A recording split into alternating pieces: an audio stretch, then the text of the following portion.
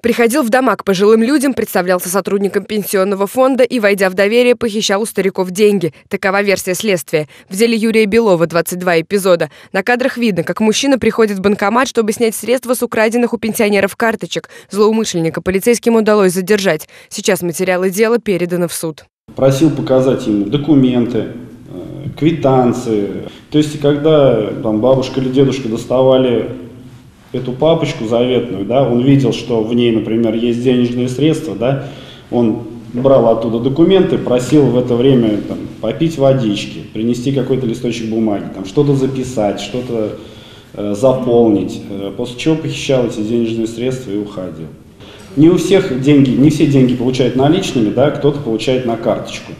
Вот. Это были факты совершения хищения именно карт, и после чего он также машине, ну как обманом узнавал пин-коды этих карт и снимал оттуда деньги.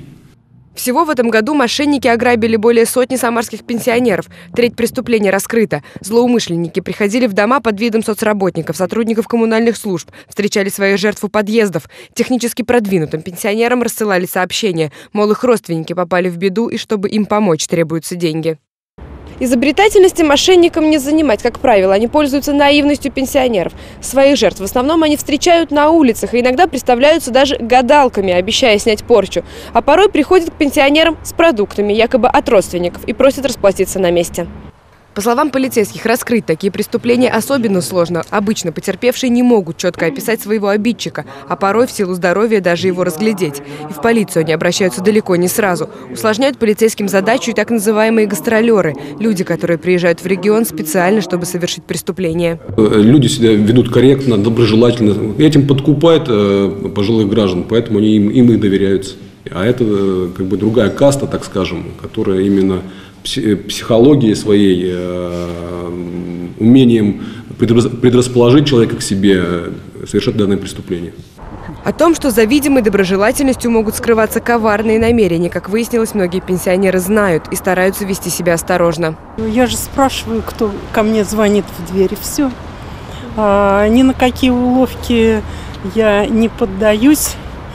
То, что предлагают дешевые товары – надо ухо держать востро. Не верить всем этим.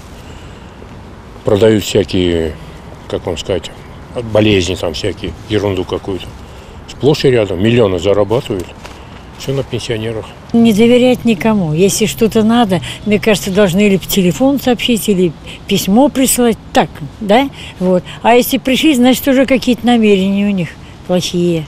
Полицейские предупреждают, сотрудники коммунальных служб обычно о своем визите сообщают заранее, как минимум объявлениями в подъезде. Если в дверь постучались незнакомцы, лучше не оставаться с ними наедине, а пригласить соседей или позвонить родственникам. Также можно обратиться в дежурную часть полиции, чтобы по адресу направили ближайший наряд.